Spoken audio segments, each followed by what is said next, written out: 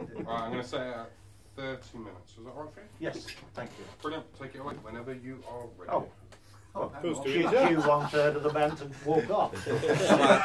Band, man, that's it. That Put is the gear part the away. course, it? That's actually part of the course. Is it? We're on, we're on stage in 30 seconds. Where the fuck's Phil gone? Is that right, Phil? I'm not being unfair. No, they're not. Try to change. Uh, my name's Benge, and uh, I kind of run this studio here, uh, as well as doing Wrangler and other things. My name's Mal, uh, Stephen Mallinder, um, and I do Wrangler with these guys and do vocals and bits and bobs, and we all work together. And I'm Phil Winter, uh, and I hang out with those two. How did Wrangler come about? Uh, well, it's actually a project that me and Phil started together uh, about three, four years ago, was it? right? Yeah. Um, and we kind of decided we'd try and do some really minimal, pure electronic tracks, um, just trying to kind of use one synth per track, and uh, that's kind of where the name comes from. It's like wrangling with with a synthesizer to kind of get uh, a result, um, and then yeah, we kind of I, I guess something was sort of missing from the tracks, and, and Phil sort of suggested we get Mal involved.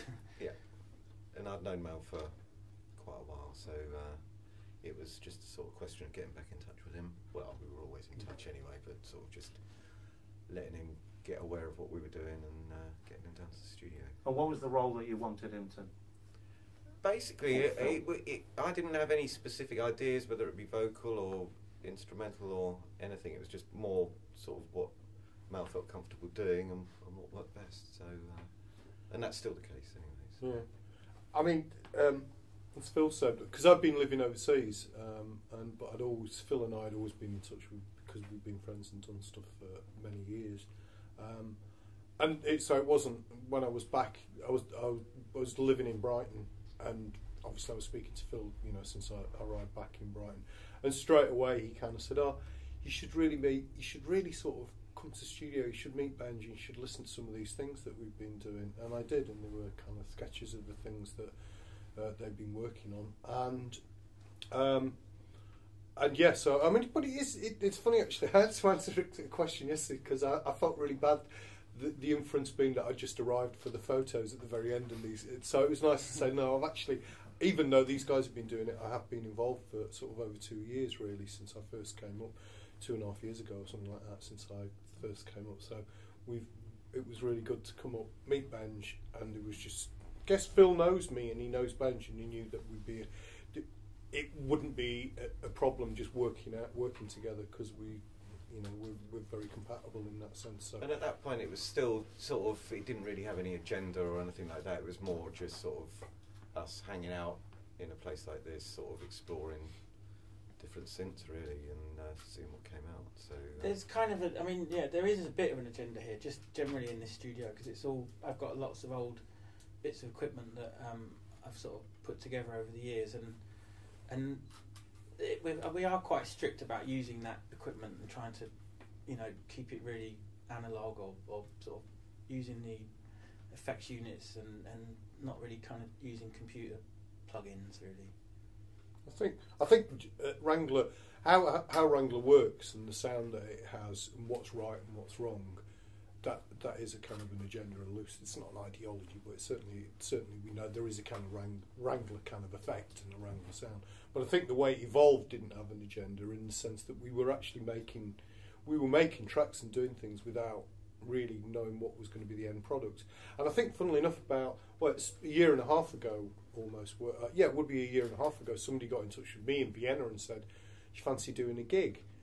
And I just went, "Well, not. I, don't know. You know, not just me personally. If I do it, I'd have to do it with these guys." And at that point, it started to kind of. I suppose it started to form around the core of, of actually doing stuff. So, so there's been certain catalysts, and we were playing, we were doing gigs for probably you know until sort of nine months ago, and then you know Steve was involved, and he was like, "Well, it's great, but you haven't actually recorded anything that's mm-hmm. kind of come together as a, a body of work. We've done lots and lots of things, and we sat down, and I think there was 21 pieces of music that we worked on. So it was a case of going, oh, I think we better capture some of this, and that's so gradually it's it's kind of crystallised into what it is now and the release and everything. But as, as Benge says, what it stands for and what it sounds like is is quite deliberate and quite conscious. How it came together was was kind of just an, it just evolved really. After a, after a lifetime, generally speaking, we had it all together, pretty adequate lifetime of working with analog electronic instruments, and again, you can you can discuss this amongst yourselves. Is there is there something else to be discovered in electronic music that we haven't already discovered, or or, or is it a matter of kind of rearranging the bricks in different places? I think there's a certain. Um, it's something about recording really old equipment, but with really modern sort of digital recording. You you somehow be able, you- you're able to capture things in the in the electronics that you, you didn't really have when the equipment was originally made.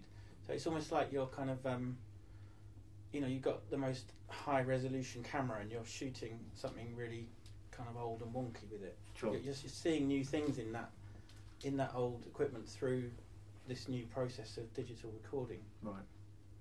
Um, I think that's. I think yeah. I think Benji's captured it. it. The sounds may be the same, but the contexts have changed, and how we can approach them are different. And also, people have changed, and so therefore there's new people who haven't discovered them. You know, so it, it, that that dynamic. There is a dynamic, and it is constantly shifting and changing.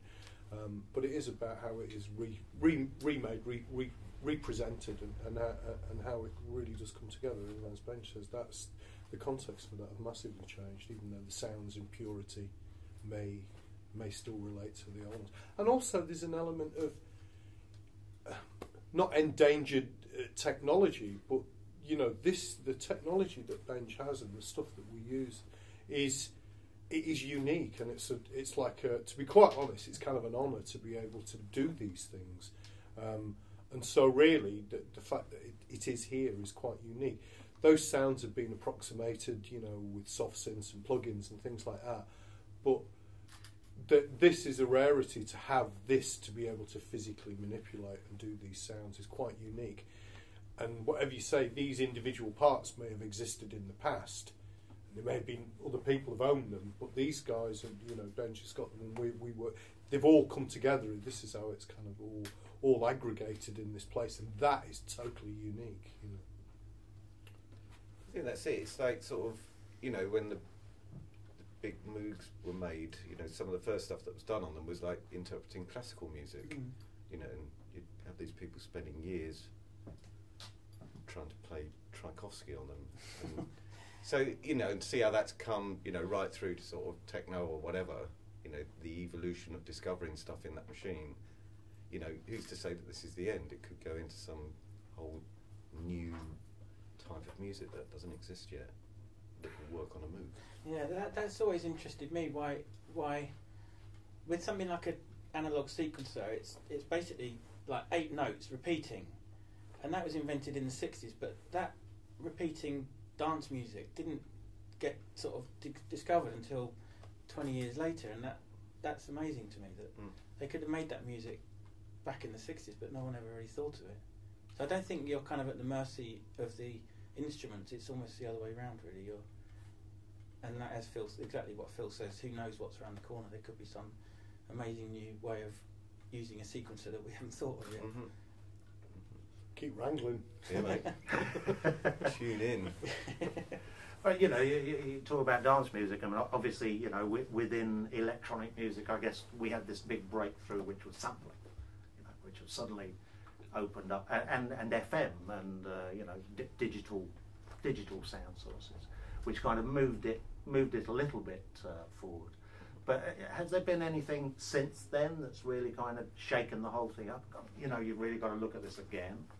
You've really got to reappraise what's going on here. Well, obviously, sampling, you know, that that was a major change because you could capture and manipulate existing sounds electronically.